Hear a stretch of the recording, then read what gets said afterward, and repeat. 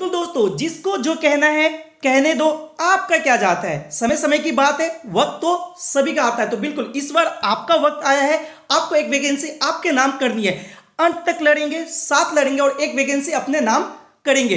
तो बिल्कुल, देखिए दोस्तों, यहाँ पर हम लोग 2019 ठीक है 2019 को जो कि 22 दो, ठीक है 2019 में जो आपका शिफ्ट नंबर थ्री था एस एस का जो एग्ज़ाम हुआ था उसी का जो मैथ का क्वेश्चन था उसको करेंगे और आपको दिखाएँगे कैसे आप 25 आउट ऑफ़ 25 ला सकते हो। बिल्कुल हर एक मार्क्स आपके लिए काफ़ी ज़्यादा इंपॉर्टेंट रोल प्ले करता है मेरिट तक पहुँचने के लिए। तो आपको सिखाऊँगा कि कैसे 25 आउट ऑफ़ 25 आप, आप ला सकते हैं। तो बिल्कुल जो आपका 22 दो 2019 का जो पेपर था, उसी को यहाँ पे सॉल्व करेंगे मैथ्स के पेपर को सॉल्व करेंगे और मैं आपको सिर्फ़ क्वेश्चंस को सॉल्व करना ही नहीं सिखाऊँगा, सबसे शॉर्टेस्ट वे जो आपका सबसे शॉर्टेस्ट वे होता है, वही आपको दिखाऊँगा, उसी से आपको सॉल्व करना भी सिखाऊँगा। तो चलिए डायरेक्ट पहुँचते क्वेश्चन पे।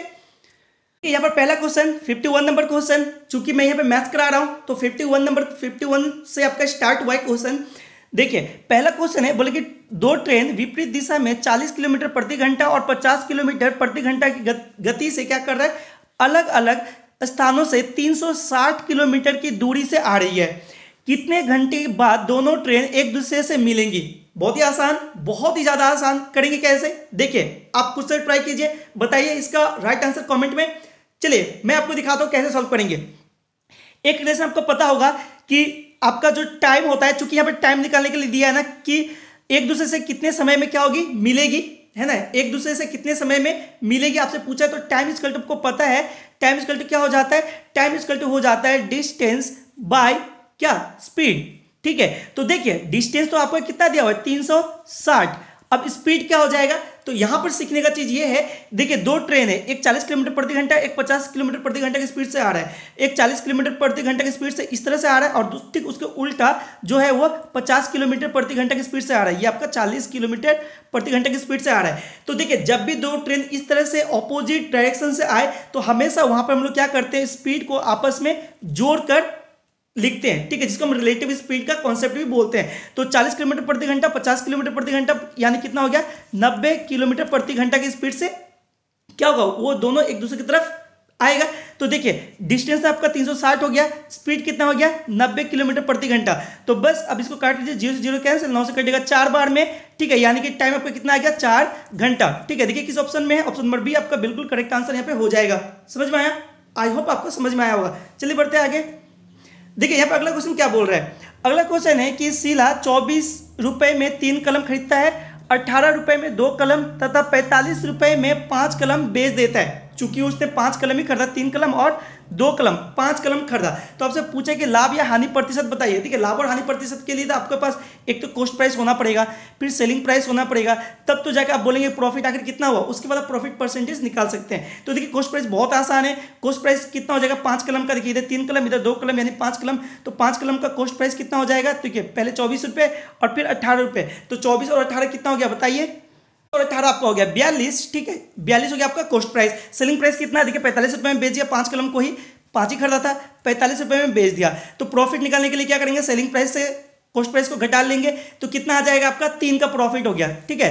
क्या कितना हो गया? तीन रुपये का प्रॉफिट हो गया। अब प्रॉफिट परसेंटेज निकालने के लिए क्या करते हैं? जो भी आपका प्रॉफिट है प्रॉफिट में ही हम कॉस्ट प्राइस नीचे लिखेंगे, ठीक है? तो ये आपको प्रॉफिट तीन रुपए और कॉस्ट प्राइस आपका कितना रुपए? बयालीस रुपए और गुना में सौ लगा देंगे। अब इसको काट लीजिए तो कितने बार में कटेगा? ये देखिए, तीन से कटेगा, ये कितने बार में? तीन कम तीन और तीन चौक बारह मतलब चौदह बार में। आगे काटेंगे तो तीन दो सत्य चौदह और दो से कटेगा, ये पचास बार में। आगे काटेंगे तो सात से पचास को काटेंगे तो कितने बार में कट जाएगा? देखिए, थोड़ा सा स्मार्टनेस दिखाई यहाँ पे। इतना आपको काटना नहीं है। डायरेक्ट ऑप्शन पे आ जाइए। देखिए, सात ये वाला ऑप्शन को अगर देखेंगे आप डी नंबर सात सात उनचास और एक पचास दस सात, यानी कि डी नंबर ऑप्शन का बिल्कुल राइट हो जाएगा। ठीक है? सात से अगर पचास को काटेंगे तो सात पूर्णांक एक बट्टा सात आपका आंसर आ जाएगा, ठीक है? इसी में आप स्मार्टनेस दिखा सकते थे दो तीन स्टेप यहीं पे आप ओरली इवन आप पूरा का पूरा ओरली कर सकते थे। इतना तो ओरली कर ही सकते थे आप, ठीक है? मैंने आपको सिखाने के लिए आपको यहाँ पे एक एक स्टेप करके दिखाया है। चलिए बढ़ते आगे। अच्छा अब यहाँ पर देखिए, इस क्वेश्चन को देखिए, क्या बोल रहे हैं कि एक मिश्रण में चार अनुपात, तीन के अनुपात में दूध और पानी है। अब क्या बोले कि जब इस मिश्रण में पाँच लीटर पानी डाला जाता है तो दूध और पानी का अनुपात छः अनुपात सात हो जाता है। तो मिश्रण में दूध की मात्रा कितनी है? बहुत ही आसान, बहुत ही ज़्यादा आसान है। देखिए, एक मिश्रण जिसमें चार अनुपात तीन में क्या है? दूध और पानी का अनुपात है। तो मान लेते हैं कि फोर एक्स आपका दूध है, और पानी जो है, देखिए, अनुपात को बट्टा में लिख सकते हैं तो पानी जो है, मान लेते हैं कि थ्री एक्स है। अब देखिए, चूँकि पानी पाँच लीटर और डाल दिया गया तो डाल दीजिए पाँच लीटर, यानी प्लस पाँच तो नया एक अनुपात बनेगा। नया अनुपात क्या बन रहा है आपका? तो बन रहा है छः बट्टा सात मतलब छः अनुपात सात बन रहा है। अब इसी को सॉल्व कर लीजिए। तो देखिए, इसको सॉल्व करेंगे तो कितना आ जाएगा? छः अठारह एक्स प्लस इधर कितना हो गया? छः पंचे तीस। ठीक है, आगे सॉल्व करेंगे, आगे इससे अब इस तरह से क्रॉस मल्टीप्लाई कीजिए तो बराबर में कितना होगा? सात चौक अट्ठाईस। कितना हो जाएगा? अट्ठाईस एक्स ठीक है, अब देखिए यहाँ पे हो गया थर्टी, बराबर ये अट्ठारह एक्स इधर आ जाएगा तो घर जाएगा यानी हो जाएगा दस एक्स तो देखिए दस से तीस कटेगा कितना बार तीन बार में एक्स का वैल्यू कितना आ गया आपका? तीन। एक्स का वैल्यू कितना आ गया? तीन। आपसे क्या पूछा कि दूध की मात्रा बताइए? तो दूध का मात्रा तो फोर एक्स था। तो फोर गुना फोर एक्स था और एक्स का वैल्यू तो थ्री है। यानी four into three four into three कितना हो जाएगा? ट्वेल्व देखिए किस ऑप्शन में? बी नंबर ऑप्शन आपका बिल्कुल करेक्ट आंसर यहाँ पे हो जाएगा। ठीक है? समझ में आया? चलिए बढ़ते आगे। देखिए अगला क्वेश्चन क्या बोल रहा है? अगला क्वेश्चन बोल रहा है कि वार्षिक, ठीक है?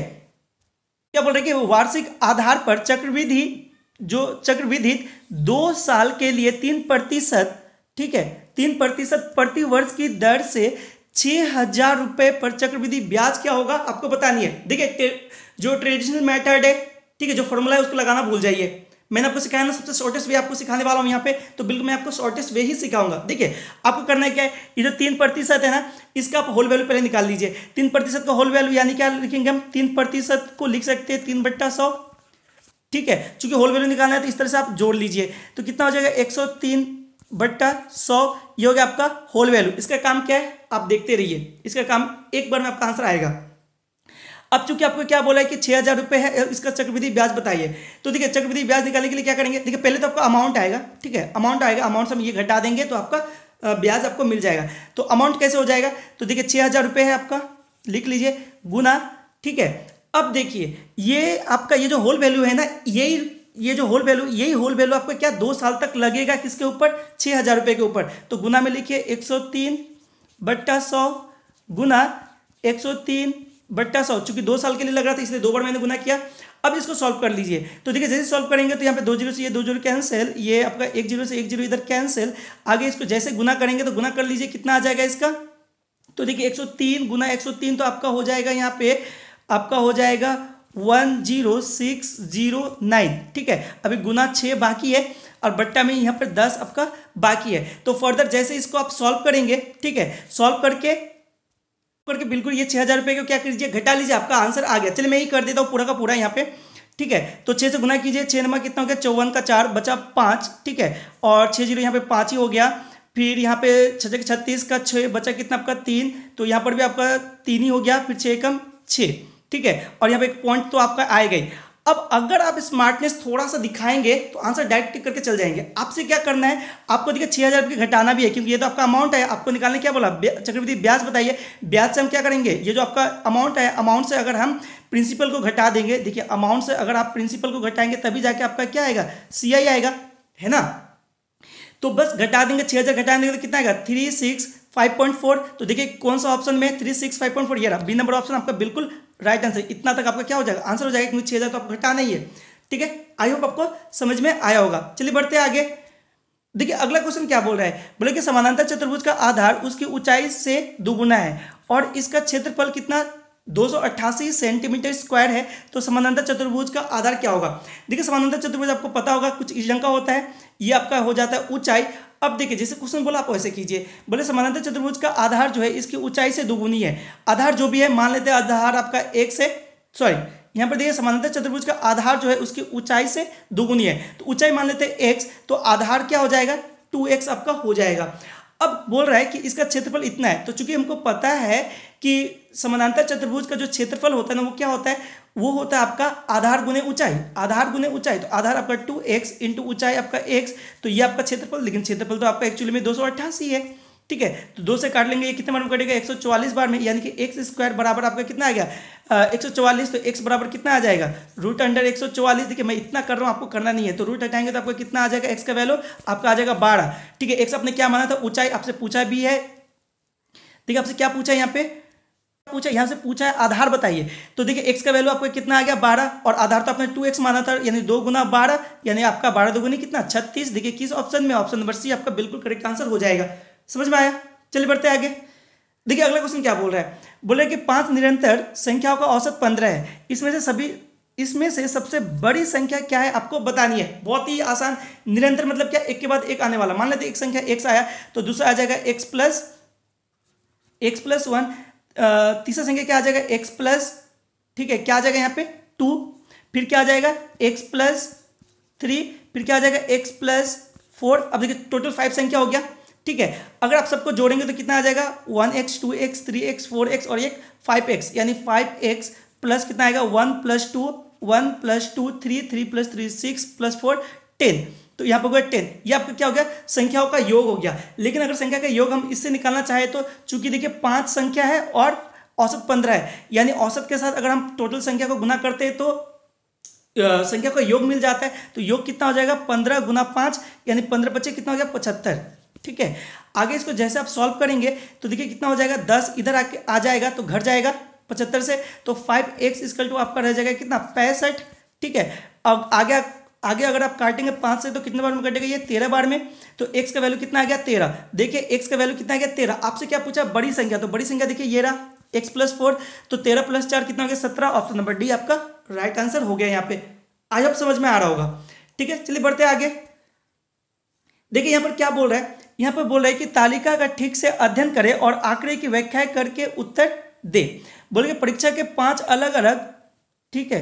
परीक्षा के पाँच अलग अलग वर्षों के चार अलग अलग कक्षाओं द्वारा परिणाम का प्रतिशत तालिका में दर्शाया गया है। तो चलिए देखते हैं तालिका आखिर है क्या। तो ये रहा तालिका। इधर देखिए आपका वर्ष दिया हुआ ये रहा क्लास नाइन ये क्लास टेन इलेवन और ये क्लास ट्वेल्व ठीक है, दो हज़ार बारह में ये रहा मार्क्स था। ठीक है, दो हज़ार बारह में ये मार्क्स दिख रहा है आपको। सॉरी ये रहा। ये आपका नाइन का मार्क्स हो गया, ठीक है? 2012 में ये 90 2013 में 70 2014 14 में 65 जो दो हज़ार पंद्रह में कितना? 50 इस तरह से कंटिन्यू सबका मार्क्स आपका दिया हुआ है हर एक क्लास का, हर एक वर्ष में। ठीक है?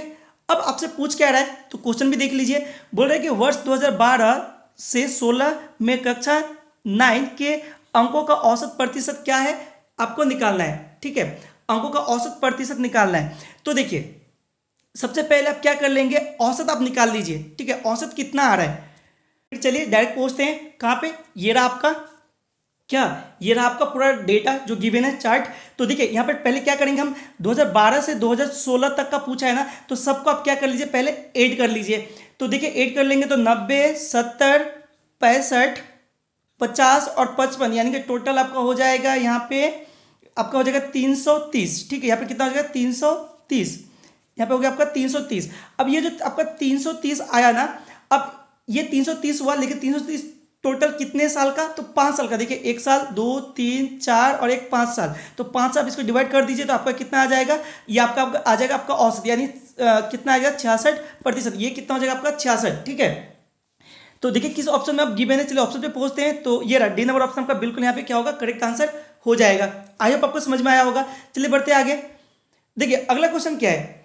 देखिए, अगला क्वेश्चन आपसे बोल रहा है कि श्वेता तीस घंटे में एक दीवार पेंट कर सकती है, जबकि जो कौन है, ये अंशुल है, ठीक है? अंशुल चालीस घंटे में इसे पेंट कर सकते हैं।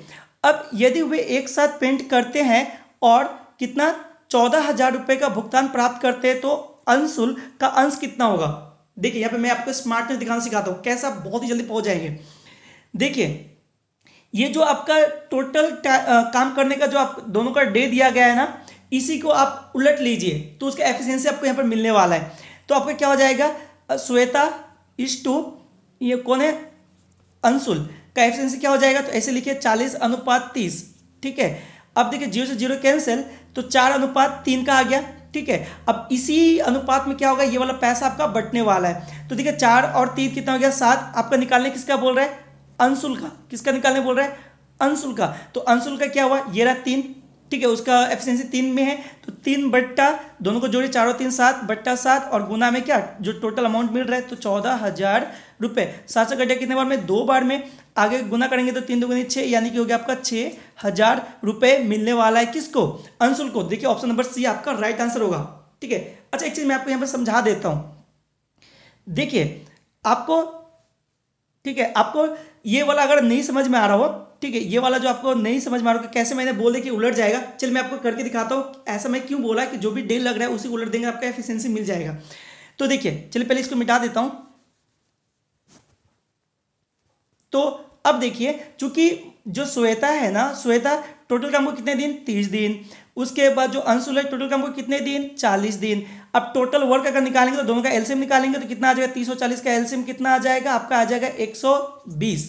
ठीक है? 120 के आगे आपका एलसीएम मतलब ये होगा टोटल वर्क हो गया। एलसीएम जो होगा वो आपका टोटल वर्क अच्छा अब अगर 30 से एक सौ बीस को भाग देंगे तो कितना? चार बार में, यानी चार का एफिशिएंसी हो गया एस का, जो कि श्वेता है, उसी तरह से अगर अंशुल का एफिशिएंसी निकालेंगे तो कितना आएगा? तीन का। तो देखिए, चार और तीन का एफिशिएंसी आया ना उलट गया ना तो इसीलिए मैंने बोला चार अनुपात तीन आपका होगा, ठीक है? आई होप आपको समझ में आया होगा। चलिए बढ़ते आगे। देखिए, अगला क्वेश्चन क्या बोल रहा है? तो देखिए, यहाँ पे अगला क्वेश्चन बोल रहा है आपको कि संजया, ठीक है, क्या नाम है? संजया और सौम्या एक साथ नौ दिनों में क्या करता है? एक साथ नौ दिनों में एक काम पूरा कर सकते हैं। संजया स्वयं पंद्रह दिनों में वही काम कर सकता है तो वही काम सौम्या स्वयं कितने दिनों में कर सकती है? ठीक है?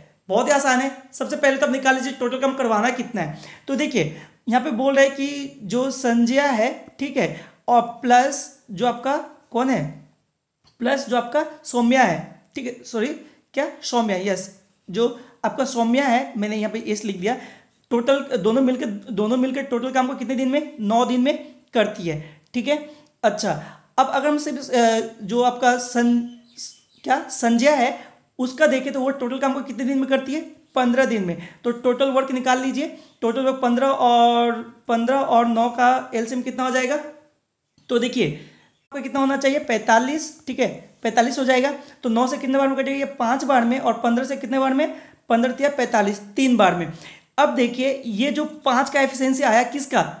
तो आया, जो संजय है और आपका जो सौम्या है, दोनों का मिला के आया, ठीक है? और ये जो तीन एफिशिएंसी आया, वो सिर्फ़ संजय का आया। तो अगर हम संजय का घटा देंगे, संजय और जो सौम्या है, उन दोनों के एफिशिएंसी से तो आपका कितना आ जाएगा? सिर्फ़ सौम्या का एफिशिएंसी कितना आ जाएगा? तो सौम्या का जो एफिशिएंसी वो आ जाएगा five minus two sorry two नहीं थ्री है ना? थ्री चलिए इसको मैं मिटा देता हूँ। ठीक है? तो यहाँ पर five minus three is equal to कितना आ गया? टू, ठीक है? ये टू किसका एफिशिएंसी आ गया? सौम्या का। यानी दो के एफिशिएंसी से काम करना है उसको पैंतालीस, ठीक है? एक दिन में दो काम तो पैंतालीस काम कितने दिन में कर देगा? कितने दिन में कर देगा? तो बस आप पैंतालीस का क्या कर लीजिए? आधा निकाल लीजिए, है ना? पैंतालीस का आप तो दो सौ ही भाग देंगे ना यानी पैंतालीस का आधा कितना हो जाएगा? साढ़े बाईस। देखिए option number C correct answer हो जाएगा आपका, ठीक है? आई होप समझ में आ रहा होगा। चलिए बढ़ते आगे। देखिए, अगला क्वेश्चन क्या है? बहुत ही आसान क्वेश्चन है। एक्स वाई जेड के बीच चार हज़ार छह सौ रुपए की राशि, ठीक है? किस अनुपात में? एक बट्टा दो दो बट्टा तीन तीन बट्टा चार, ठीक है? कितना? तीन बट्टा चार के अनुपात में वितरित की गई। तो वाई का हिस्सा क्या होगा? तो सबसे पहले क्या कर लीजिए, इस, ये जो आपका अनुपात दिया ना, इसको सिंपल अनुपात में बदल लीजिए तो देखिए कितना है? X is to y is to z है आपका। तो इसका क्या हो जाएगा आपका अनुपात? देखिए यहाँ पे एक बट्टा दो है, अनुपात दो बट्टा तीन है ये आपका तीन, ठीक है? उसके बाद तीन अनुपात तीन बट्टा चार है। ये ना? तो देखिए इसको कैसे बदलेंगे? सबसे शॉर्टेस्ट ट्रिक क्या होगा? आप क्या कीजिए, पहले एलसीएम निकाल लीजिए। दो, तीन और चार का। कितना आएगा? बारह, ठीक है? तो दो से बारह कितने बार में? छः बार में। अब देखिए, तीन से बारह कितने बार में? चार बार में? चार गुना दो। चार गुना दो कितना हो जाएगा? आठ। ये आपका अनुपात होता चलेगा, ठीक है? बंदे चल रहा है अनुपात आपका। चार से काटेंगे बारह को, तीन बार में तीन से काट, गुना करेंगे तीन को, तीन तिहाई नौ। तो आपका नया अनुपात क्या बन गया? छः अनुपात आठ, अनुपात नौ। ठीक है, ये बन गया आपका अनुपात। इसी अनुपात में क्या होगा? ये चार हज़ार छः सौ रुपये बटेगा। ठीक है तो चलिए बांटते हैं इसको। तो देखिए, किसको, किसका हिस्सा पूछ रहा है? वाई का। तो वाई का हिस्सा तो एट पे है। तो एट अनुपात में एट बट, बट्टा क्या करेंगे? जोड़ लीजिए, आठ से चौदह और नौ कितना हो जाएगा?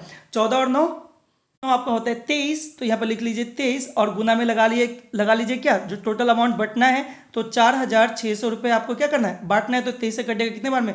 दो बार में, यानी यहाँ पे हो गया दो सौ दो सौ गुना आठ, यानी कि हो गया कितना? तो आठ गुना सोलह सोलह सौ रुपये, ये रहा ऑप्शन नंबर बी सोलह सौ रुपये आपका बिल्कुल राइट आंसर हो जाएगा, ठीक है? चलिए बढ़ते आई होप आपको समझ में आ रही होगी।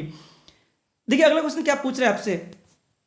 देखिए, अगला क्वेश्चन पूछ रहा है कि सबसे बड़ी संख्या निम्न में से कौन सी है जिससे 140, 148 और 611 को विभाजित करने पर शेषफल क्रमशः दो आठ और ग्यारह आता है। बहुत ही अच्छा क्वेश्चन है ठीक है? बहुत ही अच्छा क्वेश्चन है।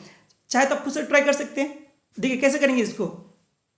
आपको सबसे पहले क्या करना है हर एक से जो भी आपका शेष बचता है ना जैसे 146 में शेष कितना दो एक दो सौ अड़तालीस में शेष कितना आठ और छः सौ ग्यारह में शेष कितना ग्यारह। तो हर कोई को जो शेषफल बच रहा है उतना आप क्या कर लीजिए घटा लीजिए मतलब 140 से दो घटा लीजिए, एक सौ सौ आठ और छः सौ ग्यारह से घटा लीजिए ग्यारह। तो देखिए, जैसे आप घटाएँगे तो घट के कितना आ जाएगा? तो पहले तो आ जाएगा एक एक संख्या।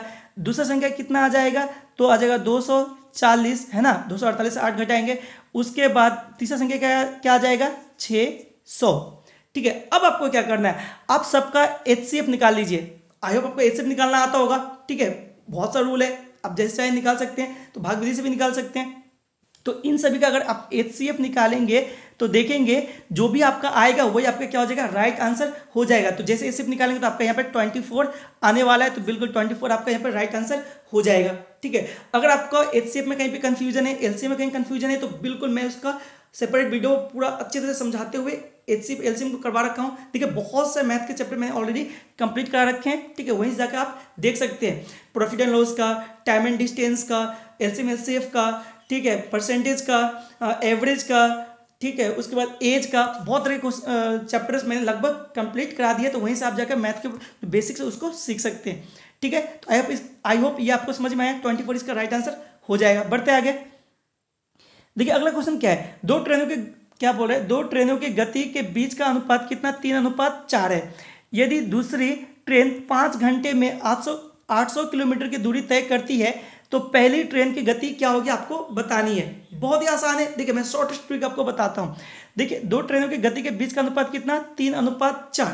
ठीक है मतलब पहले का गति अगर अनुपात में तीन है तो दूसरा का गति अनुपात में चार है। अब देखिए, क्या बोल रहा है कि दूसरी ट्रेन पाँच घंटे में 800 किलोमीटर जाता है। तो क्या हम स्पीड बोल सकते हैं? स्पीड क्या हो जाएगा दूसरी ट्रेन का एक्चुअली में? तो चूँकि 800 किलोमीटर जाने में पाँच घंटा तो स्पीड इसका तुमको पता है डिस्टेंस बाय टाइम तो डिस्टेंस है तो वो जा रहा है 800 किलोमीटर, किस टाइम में? पाँच घंटा में। पाँच से काटेंगे तो कितना बार में कटेगा ये? 160 बार में, ठीक है तो 160 क्या होगा 160 किलोमीटर प्रति घंटा जो हो जाएगा, ये दूसरे ट्रेन का स्पीड हो जाएगा। तो एक्चुअल स्पीड कितना हो गया? 160 किलोमीटर प्रति घंटा। लेकिन अनुपात में कितना? तो देखिए, अनुपात में तो चार है। तो अनुपात में चार जो है स्पीड है दूसरे ट्रेन का, लेकिन एक्चुअली में कितना है? एक सौ साठ, यानी दोनों आपका स्पीड तो आपस में क्या हो गया? आपका बराबर। तो अनुपात चार बराबर कितना का? 160 का तो अनुपात एक बराबर कितने का? बताइए तो चार से काटिए। कितने बार में? चालीस बार में। तो अनुपात एक बराबर चालीस का। आपसे क्या पूछा है कि पहली ट्रेन का गति बताइए। तो पहली ट्रेन का अनुपात में कितना स्पीड है? अनुपात तीन। तो अनुपात तीन बराबर कितना होगा बताइए? देखिए, अनुपात एक बराबर चालीस का तो अनुपात तीन बराबर कितना हो जाएगा? तो तीन गुना चालीस, यानी कि हो गया चार बारह, एक सौ बीस। एक सौ बीस किलोमीटर प्रति घंटा। कहाँ है ऑप्शन तो ऑप्शन नंबर ए आपका राइट आंसर हो जाएगा। ठीक है? आई होप आपको समझ में आ रही होगी। चलिए बढ़ते आगे। देखिए, अगला क्वेश्चन क्या है? अगला क्वेश्चन बोल रहा है सिंप्लीफिकेशन क्वेश्चन है, बहुत ही ज़्यादा आसान क्वेश्चन होता है इस ढंग का। ठीक है, फ्री का मार्क्स समझ लीजिए आपको, मिलने वाला होता है। तो देखिए, यहाँ पे क्या है? सिक्स इंटू फिफ्टीन ब्रैकेट है अंडर ब्रैकेट है, ये डिवाइड का साइन है। ठीक है, ये आपका डिवाइड का साइन है two into three minus two square plus three तो देखिए, पहले हम डिवाइड करेंगे बोर्ड मार्क्स का रूल देखिए, पूरा सिंप्लीफिकेशन मैंने कंप्लीट करा रखा है ट्रिक के साथ, वो भी आप देख सकते हैं। तो देखिए, यहीं पे ये, चूँकि ये दोनों आपस में डिवाइड में तो हम डिवाइड का सबसे पहले काम करेंगे। दो से कटेगा ये छः कितने बार में? तीन बार में। तीन से कटेगा ये आपका पंद्रह कितने बार में तो पाँच बार में। तो बीच में गुना है ना? तो देखिए, तीन गुना पाँच कितना हो गया? पंद्रह। ठीक है? आगे, माइनस दो का स्क्वायर, चार और प्लस का यहाँ पे तीन। पहले जोड़ते हैं हम तो पंद्रह और तीन कितना हो गया? पंद्रह और तीन आपका हो गया अट्ठारह घटाएँगे कितना? चार। तो आपका आ गया कितना? अट्ठारह से चार गया तो चौदह। ठीक है? देखिए किस ऑप्शन में? ऑप्शन नंबर डी आपका राइट आंसर हो गया। चलिए बढ़ते आगे। देखिए, अगले क्वेश्चन क्या है यहाँ पे? कि एक व्यापारी ने अट्ठारह हज़ार आठ सौ रुपये में एक मशीन बेची और उसे छः प्रतिशत का क्या हुआ? नुकसान हुआ। तो मशीन का लागत मूल्य क्या है आपको बतानी है। ठीक है? तो क्या करेंगे? ज़्यादा इसमें कोई सेंस वगैरह आपको लगाना नहीं है, फिर से क्या करेंगे? होल वैल्यू का कॉन्सेप्ट लगाएँगे। एक ही बार में, एक झटके में आपका आंसर आने वाला है। ठीक है? तो देखिए, सोलह प्रतिशत, सॉरी छः प्रतिशत का आप होल वैल्यू निकालेंगे तो कितना आएगा? छः प्रतिशत प्रतिशत कम लिख सकते हैं छः बट्टा सौ। अब होल वैल्यू में देखिए निकालेंगे, लेकिन चूँकि यहाँ पर नुकसान हो रहा है तो सौ से छः को घटा के लिखेंगे। ठीक है? सौ से छः को घटा के लिखेंगे तो कितना आ जाएगा आपका? आ जाएगा यहाँ पे चौरानवे बट्टा सौ। ठीक है, इतना का नुकसान हो रहा है। अब चूँकि देखिए, व्यापारी ने कितना, इतना रुपए में एक मशीन को बेचा है एसपी कितना? अट्ठारह हज़ार आठ सौ है। तो एसपी जो कि आपका अट्ठारह हज़ार आठ सौ है, इसी में अगर आप इस होल वैल्यू को उलट के लिखेंगे, देखिए, अगर कोस्ट प्राइस निकलना है, निकालना है तो होल वैल्यू को उलट के लिखा जाता है। देखिए होल वैल्यू को मैंने टोटल अच्छे ढंग से कंप्लीट करा दिया उसका भी आपका सेपरेट वीडियो मिल जाएगा। ठीक है? तो इसको उलट के लिखेंगे तो गुना में हो जाएगा यहाँ पे सौ बट्टा कितना? चौरानवे। ठीक है? ये हो गया। अब ये चौरानवे हो गया ना तो बस अब इसको सॉल्व कर लीजिए, आपका आंसर आ गया। तो देखिए, चौरानवे से जैसे आप इसको काटेंगे, कितना? चौरानवे से इसको काटेंगे। One eight eight zero zero को तो कितना आएगा आपका? आराम से आप बोल सकते हैं, ये आपका दो बार में कट जाएगा तो ये आपका यहाँ पे हो गया दो सौ। तो दो सौ गुना एक सौ कितना हो जाएगा? देखिए तो आपका हो जाएगा कितना? आपका बीस हज़ार रुपये तो ये रहा आपका बीस हज़ार रुपये देखिए किस ऑप्शन में? ऑप्शन नंबर ए आपका बिल्कुल राइट आंसर हो जाएगा, ठीक है? आई होप आपको समझ में आया तो इस ढंग से आप ओरली आंसर निकाल सकते हैं। होल वैल्यू को आपको सीखना पड़ेगा, क्योंकि बहुत से चैप्टर्स में ये कॉन्सेप्ट आपका डायरेक्ट आपके आंसर तक पहुँचा देता है, ठीक है? तो आई होप सबसे पहले आप उसको भी देखेंगे, ठीक है? चलिए बढ़ते आगे।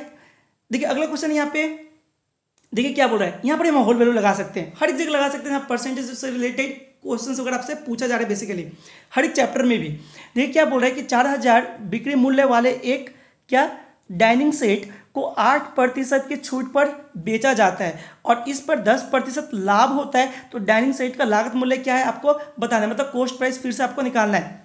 फिर से लगाएँगे होल वैल्यू आंसर एक झटके में आपको मिलेगी। देखिए, चूँकि चार हज़ार रुपये में बिक्री मतलब बिक्री मूल्य है, लेकिन बेच तो रहा है आठ प्रतिशत कम में। तो चार हज़ार का आठ प्रतिशत कितना आ जाएगा? तो देखिए, चार हज़ार का आठ प्रतिशत कम लेना है आपका, यानी आठ प्रतिशत हो गया कितना? तीन सौ बीस। बिल्कुल, आपका कितना हो जाएगा? तो आपका हो जाएगा तीन सौ बीस ही होगा। ठीक है, तीन सौ बीस हो जाएगा। अब ये तीन सौ बीस रुपये क्या करना है? चार हज़ार से कम लेना है। यानी चार हज़ार से तीन सौ बीस को घटाएँगे तो आपका कितना आ जाएगा? चलिए मैं यहाँ पे लिख देता हूँ। आपका आ जाएगा थ्री सिक्स और एट ज़ीरो। मतलब तीन हज़ार छः सौ अस्सी रुपये लेना है। ठीक है, ये रह जाएगा बिक्रे मूल्य मतलब इस पर यही रह जाएगा। अब आते हैं, दस प्रतिशत चूँकि लाभ हो रहा है, यानी दस प्रतिशत का होल वैल्यू निकाल लीजिए तो दस बट्टा हम सौ लिखेंगे पहले, ठीक है? ज़ीरो से ज़ीरो कैंसिल अब चूँकि लाभ हो रहा है तो दस और एक को जोड़ के लिखेंगे, ग्यारह बट्टा दस हो गया यह बन गया आपका होल वैल्यू लेकिन चूँकि कोस्ट प्राइस निकाल रहे हैं, आप क्या निकाल रहे हैं? कोस्ट प्राइस निकाल रहे हैं तो कोस्ट प्राइस निकालने के लिए होल वैल्यू को उलट के लिखेंगे तो उलट के लिखिए तो गुना में हो जाएगा दस बट्टा ग्यारह, ठीक है? तो बस हो गया आपका आंसर। जैसे आप इसको काटेंगे, इसको सॉल्व कर लीजिए ग्यारह से ये पूरा का पूरा ये कटेगा तो नहीं पॉइंट में आएगा, ठीक है? तो जैसे करेंगे तो आपका आंसर कितना आएगा? आंसर आ जाएगा लगभग थ्री थ्री फोर फाइव ठीक है पॉइंट फोर फाइव आप चाहते खुद से ट्राई कर लीजिए। देखिए, इतना ही आपका आंसर आने वाला है। तो देखिए, ये आप किस ऑप्शन में दिया हुआ है? इतना आंसर। तो ये ऑप्शन नंबर डी आपका। बिल्कुल यहाँ पे करेक्ट आंसर हो जाएगा। आई होप आपको समझ में आ रही होगी। ठीक है? चलिए बढ़ते आगे। देखिए, अगला क्वेश्चन क्या बोल रहा है कि तालिका, क्या बोल रहा है? तालिका का ठीक से अध्ययन करें और आंकड़े की व्याख्या करके उत्तर दें। देखिए, क्या बोल रहा है कि परीक्षा में पाँच अलग अलग वर्षों के चार अलग अलग कक्षाओं द्वारा परिणाम का प्रतिशत तालिका में दर्शाया गया है। ये पीछे वाले क्वेश्चन के तरह ही है, ठीक है? क्वेश्चन शायद थोड़ा सा डिफरेंस है, इसलिए देख लेते हैं। अच्छा ये रहा तालिका। देखिए, ये तालिका तो आपने ऑलरेडी देखा था। क्वेश्चन पर आता है डायरेक्ट देखिए क्वेश्चन क्या बोल रहा है कि किस वर्ष में सभी चार कक्षाओं का औसत जो प्रदर्शन है, वो अधिकतम है। ठीक है, ये रहा आपका ऑप्शन तो देखिए, सभी का औसत आपको निकालना निकालना है और बताना है कि किस वर्ष में चार कक्षाओं का औसत प्रदर्शन क्या है, सबसे ज़्यादा है। तो क्या करेंगे आप? चलिए, पहुँचते पहले। देखिए, आपका डेटा गिवन है तो आपसे क्या पूछा है? देखिए, यहाँ पे आपसे पूछा है कि किस वर्ष सभी चार कक्षाओं का औसत प्रदर्शन सबसे अधिकतम है। तो आपको क्या करना है? ये रहा 2012 में देख लेते हैं कि class nine ten eleven twelve को मिला के औसत जो आपका प्रतिशत है, कितना आता है तो आप क्या करेंगे, नब्बे, अस्सी, पचासी और पचहत्तर को जोड़ेंगे, ठीक है, सबको आप क्या करेंगे, जोड़ेंगे, और कितना कितना है यहाँ पे, एक, दो, तीन और चार चार ही डिजिट है मतलब चार क्लास है, भाग लगा देंगे, चार से, जो भी आएगा, वो आपका आएगा एवरेज ठीक है, इस तरह से आप क्या करेंगे, सबका एवरेज निकालेंगे 2013 का भी 14 का भी 15 का भी और 16 का भी, जिसका एवरेज ज़्यादा आएगा, वो आपका राइट आंसर हो जाएगा ठीक है? तो आप आई होप आप खुद से बता सकते हैं इसका आंसर ठीक है? एवरेज निकालना तो मैंने आपको सिखाया total number sorry sum of numbers मतलब संख्याओं का योग बट्टा जितना नंबर आपने लिया टोटल नंबर ठीक है? इस तरह से आप एवरेज निकाल देंगे। निकालने के बाद जिसका सबसे ज़्यादा आएगा, देख लीजिए किस साल में सबसे ज़्यादा आ रहा है, वही आपका राइट आंसर हो जाएगा। आई होप आपको समझ में आया, आप खुद से कर सकते हैं। चलिए बढ़ते आगे। देखिए, अगला क्वेश्चन यहाँ पे क्या बोल रहे हैं? देखिए, फिर भी एवरेज अगर आपको समझ में नहीं आया ना तो एवरेज का भी टोटल कॉन्सेप्ट के साथ मैंने समझा रखा है। वहाँ से देख के आप इसका आंसर आसानी से दे सकते हैं। चलिए, इस क्वेश्चन को देखते हैं सिक्सटी सेवन नंबर क्वेश्चन का। कैसे सॉल्व करेंगे इसको? तो देखिए, बोले कि छत्तीस और एक सौ इक्कीस के बीच का मध्य समानुपाती निम्न में से अच्छा निम्न में से किसके बराबर है आपको बताना है? तो मध्य समानुपाती निकालने का ट्रिक क्या? तो रूट अंडर ए बी ठीक है, दो संख्या आपका, एक संख्या ए दूसरी संख्या बी तो आप कर लीजिए रूट अंडर कितना? छत्तीस गुना इक्कीस। सॉरी एक सौ इक्कीस है ना? एक सौ इक्कीस। तो रूट हटाएँगे तो कितना आ जाएगा? देखिए, छत्तीस का हटेगा तो आपका हो जाएगा छः और गुना एक सौ इक्कीस का ग्यारह। छः गुना ग्यारह, छियासठ, सिक्सटी सिक्स। देखिए, किस ऑप्शन में? ऑप्शन नंबर सी आपका बिल्कुल राइट आंसर बढ़ते आगे। देखिए, यहाँ पर देखिए, अगला क्वेश्चन यहाँ पे क्या बोल रहा है कि एक क्रिकेट टीम में ग्यारह खिलाड़ियों का औसत आयु कितना? बाईस वर्ष। जब टीम के कोच की आयु इसमें सम्मिलित की जाती है तो औसत आयु एक बढ़ जाता है। टीम तो क्या बोल रहा है? टीम जो है कि कोच की आयु क्या होगी आपको बतानी है। तो देखिए, जब सिर्फ़ क्या था? खिलाड़ी था और आपका, ठीक है ग्यारह खिलाड़ी था और औसत आयु आपका उस समय बाईस था। तो टोटल आयु आपको निकालना है सबसे पहले। टोटल ग्यारह खिलाड़ी का टोटल आयु क्या होगा? ये तो आपका औसत दिया हुआ है। तो आप क्या करेंगे? ग्यारह गुना बाईस कर लेंगे। अब टोटल नंबर में अगर औसत से गुना करते हैं तो आपका टोटल सम ऑफ़ नंबर्स आपको मिल जाता है। तो यहाँ पर आयु है तो आपको आयु मिलेगी। तो कितना आ जाएगा यहाँ पे? तो ग्यारह से गुना करना बहुत आसान, यहाँ पर दो, यहाँ पर दो, और दोनों को जोड़ लीजिए चार। मतलब कितना आएगा दो सौ बयालीस वर्ष, ठीक है? दो सौ बयालीस वर्ष आपका हो गया। अब आते हैं, चूँकि एक जन क्या हो गया? देखिए, अब इसमें जो आपका ग्यारह खिलाड़ी था, उसमें एक जन और आ गया जो कि टीम टीम के कोच भी आ गए हैं। तो अब क्या हो गया? बारह, ठीक है? पर्सन कितना हुआ? ट्वेल्व। और आयु देखिए, एक आयु जो है, औसत का एक बढ़ जा रहा है, यानी कि पहले था बाईस, अब होगा तेईस। ठीक है, अब गुना कर लीजिए तो देखिए, बारह तेईस छत्तीस का छः बचा कितना आपका? तीन। बारह दूनी चौबीस और तीन कितना गया सत्ताईस। दो सौ छिहत्तर। ठीक है, जब इसमें कोच भी शामिल हुआ तो ये टोटल आपका एज आ गया, तेरह परसेंट का। तो आपको क्या करना है? इससे इसको घटा लीजिए, जो भी आएगा आपका, वो क्या होगा? कोच की आयु हो जाएगी। तो देखिए दो सौ बयालीस से दो सौ छिहत्तर घटाएँगे तो कितना हो जाएगा? तो हो जाएगा आपका फोर और यहाँ पर होगा थ्री थर्टी फोर यानी चौंतीस साल का। देखिए, किसी ऑप्शन में बी नंबर ऑप्शन आपका बिल्कुल यहाँ पे राइट आंसर होगा। चलिए, आगे देखिए। देखिए क्या बोल रहा है कि एक बोर्ड परीक्षा में कुल परीक्षार्थियों में पचहत्तर प्रतिशत उत्तीर्ण हुए। यदि अनुत्तीर्ण परीक्षार्थियों की संख्या जो है 625 है तो कुल परीक्षार्थियों की संख्या क्या है, आपको बतानी है। शॉर्टकट सीखना है, देख कितने आसानी से निकाल सकते हैं आप। चूँकि 25 प्रतिशत पास हुआ तो फेल कितना हुआ, फेल हुआ आपका 25 परसेंट। लेकिन एक्चुअली में फेल कितना हुआ? 625 तो ये भी आपका 625 जो है वो फेल है और ये भी तो आपका 25 परसेंट फेल है, यानी दोनों आपस में बराबर। यानी 25 परसेंट बराबर कितना? 625 का। आपको निकालना क्या है? कुल परीक्षार्थी। तो मैंने आपको बताया कि प्रतिशत में कोई भी चीज़ जो होता है, अपने आप में हंड्रेड होता है। तो कुल छात्र भी क्या होंगे? हंड्रेड तो हंड्रेड बराबर क्या होंगे? पता नहीं है ना क्रॉस मल्टीप्लाई कीजिए, आपका आंसर आ गया। यानी कितना आ गया? Six two five zero zero by twenty five पच्चीस से काटेंगे कितने बार में? पच्चीस बार में छः सौ पच्चीस, और ये जो दो ज़ीरो लगा लीजिए, यानी दो हज़ार पाँच सौ टोटल स्टूडेंट ये बी नंबर ऑप्शन आपका, बिल्कुल यहाँ पे राइट आंसर हो जाएगी। आई होप समझ में आया। बढ़ते आगे। अच्छा अब देखिए सेवेंटी नंबर क्वेश्चन क्या है? ठीक है? बस पहुँचने वाले हम लोग अंत क्वेश्चन तक।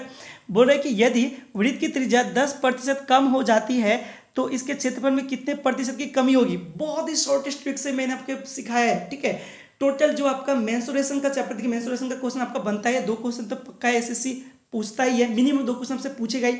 तो ये ज़रूरी हो जाता है कि आप पूरा मेंसुरेशन बेसिक से सीखें। देखिए, अभी तक इस शिफ्ट में कितना आपका दो दो क्वेश्चन हो चुका है ऑलरेडी शायद दो या तीन क्वेश्चन हो चुका है, ठीक है? इसी शिफ्ट में पूछा जा चुका है। तो मैंने बताया ना कि दो का तो एवरेज पकड़ के चलिए आपका दो क्वेश्चन बनेगा तो ये ज़रूरी हो जाता है कि आप क्या करें?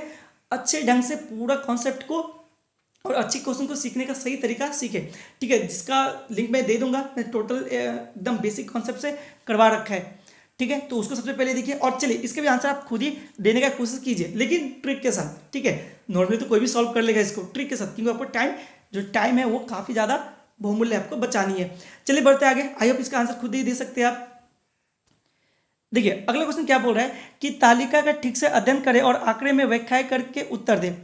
ठीक है, परीक्षा में पाँच अलग अलग वर्षों में चार अलग अलग कक्षाओं द्वारा परिणाम का प्रतिशत तालिका में दर्शाया गया शायद ये वही तालिका है। देखते हैं। बिल्कुल, ये वही तालिका है। अब पूछ क्या रहा है? देखिए, पूछ रहा है कि सभी पाँच वर्ष में किस कक्षा का औसत पर जो प्रदर्शन है सबसे कम है। ठीक है तो देखिए, यहाँ पे थोड़ा सा आप स्मार्टनेस दिखाएँगे, आपका आंसर फट से आ जाए। चूँकि आपने पीछे वाले क्वेश्चन में जो आप इस डेटा से रिलेटेड क्वेश्चन था, वहाँ पर सभी का औसत आपने निकाला। तो उसी से आप हेल्प लेके फटाक से इसका आंसर भी आप बता सकते हैं कि कौन सा जो कक्षा है, वो सबसे अच्छा प्रदर्शन सॉरी सबसे कम प्रदर्शन मतलब खराब प्रदर्शन किया है। ठीक है? तो आइए आप खुद से कर लेंगे। चलिए, बढ़ते अगले क्वेश्चन की तरफ़। देखिए सेवेंटी टू नंबर क्वेश्चन क्या बोल रहा है कि एक निश्चित राशि का साधारण ब्याज कुल राशि का कितना? सोलह बट्टा पच्चीस है। यदि यदि क्या बोला है कि दर, प्रतिशत और समय दोनों समान हो तो ब्याज दर क्या होगी? ठीक है, काफ़ी स्टूडेंट मैंने देखा कि ये वाला जो क्वेश्चन था, ठीक है, वो मार्क पर रिव्यू करके छोड़ रखे थे। देखिए मैं दिखाता हूँ आपको कैसे। देखिए, निश्चित धन राशि पर साधारण ब्याज कुल राशि का कितना? सोलह बट्टा पच्चीस है। अच्छा सोलह बट्टा पच्चीस का मतलब क्या? आप बोल सकते हैं कि पच्चीस रुपये है तो उसमें सोलह रुपये ब्याज मिल रहा है। ठीक है? तो देखिए आपका प्रिंसिपल कितना हो गया? आप बोल सकते हैं पच्चीस रुपये इंटरेस्ट कितना हो गया आपका? बोल सकते हैं सोलह रुपये रेट कितना हो गया? देखिए रेट और टाइम तो दोनों आपस में बराबर है, यानी आर इजकल टू आर यहाँ पर बोल ही सकते हैं हम। दोनों क्योंकि आपस में बराबर है। तो बस बेसिक सा फॉर्मूला लगाइए, आपका आंसर आ गया। तो देखिए पी इजकल टू क्या होता है? प्रिंसिपल इजकल टू क्या होता है? तो प्रिंसिपल इजकल टू हमको पता है p is equal to sorry p नहीं, ठीक है? आपका साधन ब्याज बराबर क्या होता है? तो एस आई इसकल टू क्या होता है? एस आई इसकल टू होता है p into r into t by hundred तो देखिए, आपका एस आई कितना है? एस आई तो आपका है कितना? सोलह। तो यहाँ पर लिख लीजिए सोलह। बराबर। पी कितना है? देखिए पी तो आपका पच्चीस तो लिख लीजिए पच्चीस। गुना आर कितना है? देखिए आर और टी दोनों आपस में बराबर है तो आप डायरेक्ट आर इंटू आर यानी आर स्क्वायर लिख सकते हैं, बट्टा में सौ। अब देखिए, ये पच्चीस से सौ कितने बार में? चार बार में कट गया। अब देखिए, चार से गुना करेंगे क्रॉस मल्टीप्लाई करेंगे चार गुना सोलह, यानी कितना हो गया? सोलह चौक, कितना हो गया आपका? हो गया। तो मैं चलिए यहाँ पर लिख देता हूँ सिक्सटी फोर और इधर क्या हो गया? आर स्क्वायर ठीक है तो यानी अगर सिर्फ़ आर पूछे तो स्क्वायर इधर आके क्या हो रूट में बदल जाएगा। यानी रूट हटाएँगे तो आर स्क्वायर टू कितना आ जाएगा? तो आपका आ जाएगा कितना? एट ठीक है, कितना आ जाएगा आपका? एट तो देखिए किस ऑप्शन में है तो ऑप्शन नंबर ए आपका बिल्कुल करेक्ट आंसर यहाँ पे हो जाएगा। आई होप आपको समझ में आए। ठीक है तो आसानी से इस ढंग के क्वेश्चन को भी अटेम्प्ट किया जा सकता है। ठीक है चलिए बढ़ते आगे। देखिए, अगला क्वेश्चन क्या बोल रहा है आपको? देखिए क्वेश्चन बोले कि एक क्रिकेट श्रृंखला में एक बल्लेबाज द्वारा बनाए गए रन बारह, पच्चीस, ठीक है, अट्ठाईस सॉरी अड़तीस, छप्पन, चौसठ और छियासी है। तो मध्य का क्या होगा? ओरली आंसर करेंगे। चलिए बताइए आप। चलिए, आप बताइए इस क्वेश्चन का आंसर क्या होगा? ठीक है, देखिए टोटल बेसिक कॉन्सेप्ट मैंने करवा रखा है। आप उसको देखिए। ठीक है, इस क्वेश्चन का आंसर आप खुद से देंगे। ठीक है, जो भी क्वेश्चन का आंसर खुद से देंगे तो आपका क्या उसको कॉन्फिडेंस नहीं सिर्फ़ कॉन्फिडेंस बढ़ेगा, साथ ही साथ क्या होगा, इसको इस आंसर को अटेम्प्ट करने के चक्कर में आप दूसरे वीडियो को देखेंगे और उससे क्या होगा आपका जो कॉन्सेप्ट है, ठीक है बुक्स को लेंगे जिससे आपका कॉन्सेप्ट और अच्छे ढंग से क्या होगा क्लियर होता रहेगा। ऐसा तो जो भी नहीं, यही क्वेश्चन आपका एग्ज़ाम में आएगा, लेकिन मे भी इससे रिलेटेड इस ढंग का क्वेश्चन आपसे पूछा जाएगा। चलिए खुद से आंसर बताइए इसका। देखिए, अगला क्वेश्चन क्या बोल रहे हैं यहाँ पे? बहुत ही अच्छा क्वेश्चन है ये।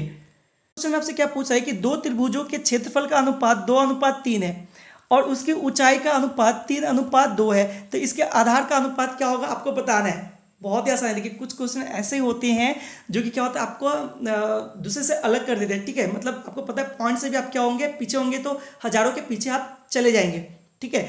तो हर एक क्वेश्चन आपको अटेम्प्ट करना है और मैं आपको सिखाऊँगा कि twenty five out of twenty five कैसे लाते हैं। देखिए, इस क्वेश्चन को कैसे अटेम्प्ट करेंगे? तो बोले दो त्रिभुज का क्षेत्रफल का अनुपात दो, अनुपात तीन है। क्षेत्रफल आपका दिया हुआ है। तो उसकी ऊंचाई का अनुपात तीन, अनुपात दो है तो उसके आधार का अनुपात क्या होगा? तो हर एक त्रिभुज का क्या निकाल लीजिए? आधार निकाल लीजिए। तो देखिए, त्रिभुज का क्षेत्रफल क्या हो जाता है? वन बाई टू इंटू आधार गुने ऊंचाई। तो आधार देखिए यहाँ पर क्या है? देखिए, आधार आपका क्या दिया हुआ है? उसका अनुपात दिया हुआ है तीन, अनुपात दो। तो पहले का अनुपात में कितना? तीन। तो मान लेते हैं कि थ्री एक्स जो है आपका आधार है। ठीक है? अब ऊंचाई तो आपका क्या है? सॉरी सॉरी सॉरी यहाँ पे देखिए, आधार तो आपका गिवन है ही नहीं। आधार ही तो आपका निकालना है। ठीक है, ऊंचाई आपका गिवन है। तो चूँकि पता है त्रिभुज क्षेत्रफल वन बाई टू इंटू आधार, ठीक है, आधार गुने ऊंचाई तो देखिए, आधार कितना हो गया यहाँ पे? आधार तो आपको निकालनी है नहीं। ऊंचाई कितना हो गया? तो देखिए, ऊंचाई का अनुपात तीन दिया है। चलिए, मान लेते कि थ्री एक्स ऊंचाई है। ठीक है, और आधार कितना है? चलिए, मान लेते वो जो आपका आधार है, ठीक है, आधार को कुछ, यहाँ पे कुछ और मान लेते हैं। चलिए, मान लेते हैं यहाँ पे बी ठीक है बेस ठीक है? तो बराबर में ये तो आपका हो गया क्षेत्रफल। पहले त्रिभुज का निकाल रहे हैं। आप क्षेत्रफल क्या है? तो देखिए, अनुपात में दो है। तो चलिए मान लेते हैं टू एक्स क्या हो गया? आपका क्षेत्रफल हो गया। इसको सॉल्व कर लीजिए। तो देखिए एक्स और ये एक्स कैंसिल ठीक है? अब देखिए ये क्या हो जाए? क्रॉस मल्टीप्लाई करेंगे तो बी स्कल टू कितना आ जाएगा? बी स्कल टू आपका आ जाएगा यहाँ पे तो यहाँ पर आ जाएगा सिक्स बाई कितना? फोर ठीक है, आपका कितना आ जाएगा? सिक्स बाई यहाँ पे थोड़ा सा ध्यान दीजिए, ठीक है? थोड़ा सा ध्यान दीजिए, थोड़ा सा कंफ्यूज कर रहे हैं, कुछ नहीं है। देखिए, अब इसको सॉल्व करेंगे क्रॉस मल्टीप्लाई करेंगे तो दो गुना दो कितना हो गया? चार, ठीक है? तो ऊपर हो गया चार बट्टा ये तो three into b three b यानी कि थ्री यहाँ पर आ जाएगा। तो देखिए, पहले का बेस कितना गया? पहला त्रिभुज का बेस फोर बाई थ्री आ गया। इसी तरह से आप दूसरे त्रिभुज का बेस निकाल सकते हैं। तो कैसे आ जाएगा? देखिए, यहाँ पे आपका वन बाई टू हो जाएगा, ठीक है? इंटू आपका आधार कितना हो गया? आधार तो आपको निकालना है तो चलिए आधार मान लेते बी और ऊंचाई कितना है तो ऊंचाई आपका देखिए अनुपात में कितना टू है तो मान लेते टू एक्स तो आपका ये तो बन गया आपका क्षेत्रफल तो क्षेत्रफल बराबर तो आपका देखिए अनुपात में तीन है तो चलिए मान लेते हैं क्षेत्रफल थ्री एक्स है। अब इसको सॉल्व करेंगे तो एक्स और एक्स कैंसिल ठीक है? तो यहाँ पर क्या हो जाएगा? फोर बी इसकल टू हो गया थ्री या फिर बी इसकल टू आप क्या बोलेंगे? बी इसकल टू आप बोल सॉरी फिर से यहाँ पर थोड़ा सा मिस्टेक हो रहा है, ठीक है? इसको क्रॉस मल्टीप्लाई कीजिए तो देखिए यहाँ पर कितना हो गया? यहाँ पर टू बी हो जाएगा ना? टू बी इस टू, मैं इसको कलर चेंज कर दे रहा हूँ थोड़ा, ठीक है? कितना हो जाएगा? टू इंटू बी आपका हो गया टू बी ठीक है? Is equal to two into cross multiply करेंगे थ्री के साथ तो कितना हो गया? सिक्स तो यहाँ पर बी इसकल टू कितना हो जाएगा? सिक्स बाई टू ठीक है? दो से काटेंगे तो कितना आ जाएगा? दो तिहाई छः मतलब इधर कितना आएगा? थ्री थ्री बाई वन आप बोल सकते हैं थोड़ी देर के लिए। अब देखिए तो दोनों का बेस पहला त्रिभुज का और ये दूसरे त्रिभुज का बेस तो कितना होगा फोर बाई थ्री ठीक है? अनुपात कितना होगा थ्री बाई वन इसको सॉल्व कर लीजिए। देखिए कितना आ जाएगा आपका। इसको सॉल्व करेंगे क्रॉस मल्टीप्लाई कर लीजिए इस तरह से तो आपका आ गया four is two three into three nine चार अनुपात नौ। किस ऑप्शन में? ये रहा ऑप्शन नंबर सी आपका। बिल्कुल यहाँ पे करेक्ट आंसर होने वाली है। ठीक है, चलिए बढ़ते आगे। देखिए, अगला क्वेश्चन क्या बोल रहे हैं? अगला क्वेश्चन है, या हमारा लास्ट क्वेश्चन है यहाँ पे। ठीक है, बहुत ही आसान लास्ट क्वेश्चन अंत वाला तो सब भला। देखिए क्वेश्चन क्या बोल रहा है कि छब्बीस माइनस सॉरी बासठ माइनस पाँच का क्या बोला है? अट्ठारह माइनस चौदह प्लस पाँच गुना सात, क्या होगा? तो पहले पहले हम बोर्ड मास के अकॉर्डिंग क्या करते हैं हम लोग? जो आपका बोर्ड मास है, ठीक है? जो बोर्ड मास के अकॉर्डिंग क्या करेंगे? पहले ब्रैकेट का तो 18 से 14 घंटे का तो कितना हो जाएगा? 18 से 14 घंटे का तो आपको होगा चार। फिर का का काम तो पाँच गुना चार कितना हो गया? बीस, यानी कि हो गया बासठ माइनस बीस, ठीक है? प्लस यहाँ पे पाँच प्लस ठीक है? अब देखिए पाँच गुना सात कितना हो जाएगा? पैंतीस। एक ही बार में कर लीजिए। यहाँ पे हो गया आपका पैंतीस। अब देखिए, पैंतीस और बासठ जोड़ेंगे तो कितना होगा संतानवे माइनस बीस घटाएँगे तो कितना हो गया? सतहत्तर। किस ऑप्शन में? बी नंबर ऑप्शन का बिल्कुल करेक्ट आंसर हो जाएगा। तो इस ढंग से आपने क्या किया? Twenty five out of twenty five question को राइट अटेम्प्ट कर लिए, है ना? तो इस ढंग से आप क्या कर सकते हैं? आप क्वेश्चन को थोड़ी सी स्मार्टनेस दिखा के आप क्वेश्चन को आसानी से सॉल्व करेंगे और twenty five out of twenty five आप ला सकते हैं, ठीक है? तो चलिए मिलते हैं अगले सेशन में, जहाँ पे मैं और एक आपका जो सिफ्ट का क्वेश्चन लेके आऊँगा उसको भी मैं दिखाऊँगा कैसे आपको आसानी से क्वेश्चंस को सॉल्व कर सकते हो और twenty five out of twenty five ला सकते हैं। और देखिए, जो भी आपका जीके का पोर्सन है, ठीक है, जो आपका जीके है, उसके बाद जो भी आपका साइंस वगैरह पोर्सन देखिए साइंस का पोर्सन आपको मिल जाएगा। डेली साइंस डोज करके मैंने करवा रहा हूँ, वहीं से आपको मिल जाएगी, ठीक है? उससे आप क्या कर सकते हैं एसएससी के जितने भी क्वेश्चन पूछे गए सभी क्वेश्चन को मैंने वहाँ पर करवा रखा है तो एक भी क्वेश्चन आपका छूटने वाला है नहीं, ठीक है? तो हर एक जो भी वीडियो मैंने अपलोड कर रखा है, उसको देखिए, ताकि आपका जो तैयारी और भी ज़्यादा मज़बूत हो पाए। और इस साल जो है आपका लास्ट ईयर होना चाहिए, इस साल आपका निकलना चाहिए। तो चलिए, मिलते हैं अगले सेशन में। तब तक के लिए थैंक यू पढ़ते रहिए और सीखते रहिए।